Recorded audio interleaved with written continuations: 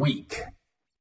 We start with Saratoga's Allison Nylon Axe Line with a perfect throw to the plate to get the out. Here's Robbie Tenerowitz for Campolindo, sprawling and getting the ball and a nice throw to first. Terrific play. Here's Willie MacIver from College Park. I loved his TV show and I love that play. Anthony Taliaferro from Alhambra with a diving stop and a toss to second. But the play of the week goes to Nate Burke. He gets crushed there, the defender, then really turns it on and gets the goal. The defender with the long stick with the goal for Granada one more time as he bounces it home. Nate Burke, you're going to the banquet with the play of the week.